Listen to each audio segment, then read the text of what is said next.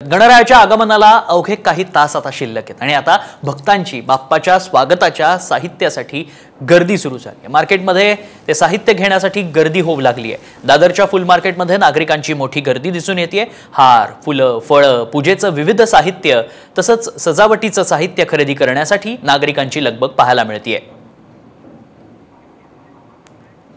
आणि अधिक माहिती जाणून घेऊया तिथल्या सध्याची स्थिती काय सांगतायत माझा आमचे सहकारी सूरज मसूरकर सध्या आपल्या संपर्कात आहे. सूरज प्रचंड गर्दी झाल्याचं पाहायला मिळतंय. दादर मार्केटमध्ये आनंदाचा उत्सव आहे. बाप्पाचं आगमन होत आहे कसा उत्साह आहे बाजारात?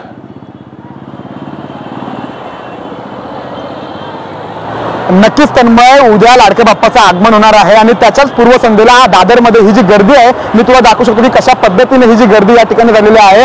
प्रत्येक नागरिक या ठिकाणी आपल्या लाडक्या बाप्पाच्या आगमनासाठी त्याच्या स्वागतासाठी जय्यत तयारी करणार आहे आणि त्याच्याच खरेदीसाठी ही गर्दी दादर फुल मार्केट परिसरात या ठिकाणी आपल्याला झालेली पाहायला मिळते. हार असतील फुलं असतील फळं असतील तसेच डेकोरेशनचं विविध सामान असेल लाइटिंग असेल या सर्वच खरेदीसाठी ही जी गर्दी आहे ती या ठिकाणी दादरमध्ये झालेली आहे.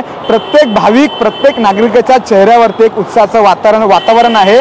कारण लाडका बाप्पा उद्या त्यांच्या घरी विराजमान होणार आहे आणि त्याच्याच स्वागतासाठी जल्लोष क- करणार जल्लोष होणार आहे. त्याची तयारी सजावट या सगळ्या गोष्टींसाठी ही गर्दी आपल्या आपल्याला या ठिकाणी पाहायला मिळतं. पूर्णपणे चालायला देखील जागा नाहीये अशी ही गर्दी या ठिकाणी दादर फुल मार्केट परिसरामध्ये आपल्याला या ठिकाणी पाहायला अगदी मिळत नजर आहे. जाईल तिथपर्यंत प्रचंड गर्दीनं रस्ते फुलून गेल्याचं पाहायला मिळतंय. दादर मार्केट नेहमीच तसं गर्दीनं फुललेलं असतं. मात्र मात्र यंदा विशेष अर्थात गणपती बाप्पाचं आगमन होत आहे आणि आपल्या लाडक्या बाप्पाला त्याच्या आवडीची फलं फळं फुलं घेण्यासाठी सजावटीचं साहित्य घेण्यासाठी भक्तांनी प्रचंड गर्दी केल्याचं पाहायला मिळते सूरज धन्यवाद आपण दिलेल्या सगळ्या सविस्तर माहितीसाठी.